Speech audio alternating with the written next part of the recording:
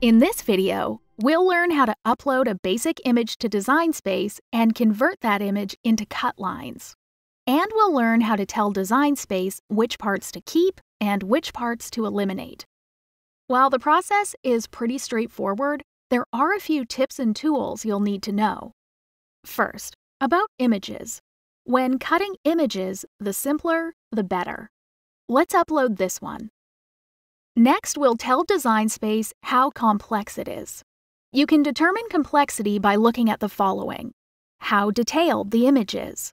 How many colors the image has. Even the contrast between the foreground and background can make a difference. This image is pretty simple, so I'll select that. And then click Continue. Since we're about to use some new tools and commands, let's have a peek. Here's the magic wand, the eraser, and the crop tool. Below that are more advanced options. Here's undo, redo, and zoom commands.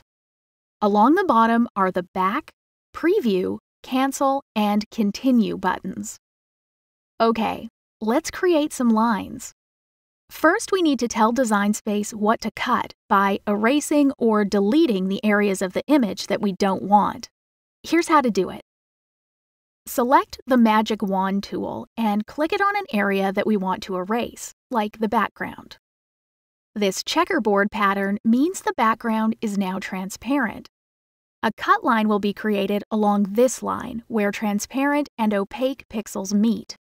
Use Preview anytime to see what the cut lines look like. See how some image detail disappears and is filled with gray? That means that detail will be lost when the image is saved and will not cut because there are no cut lines. Now let's hide the preview and click inside those areas. Using the eraser makes it easy to erase details that you don't want. Just like that. We can preview again to check. And much better. When you've dialed in the detail you want, click Continue. Here we decide to save this as a print then cut image or as a cut image. If you have a simple black and white image without color or complex gradients, that's perfect to convert to a cut image. If your image is more like this, with complex colors, then better opt for print then cut. I'll go ahead and select Cut.